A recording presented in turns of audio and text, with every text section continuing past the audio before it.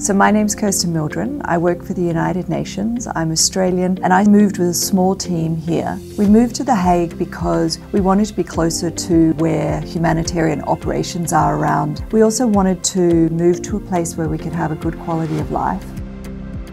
If I had moved here without the International Centre, I don't think I would have been able to do it. I'll be honest, because I think that when you move to a new city, it's a whole new system and it's a bit daunting. So to be able to come and, and meet with the team here and ask questions about schools and housing and where you would live in the area, all the sort of things that you need to know, it really, really helps particularly for schooling. For me, that was the biggest challenge. I have three children, three boys, different ages. I needed to get them into different schools. I was definitely contacting them to get that information.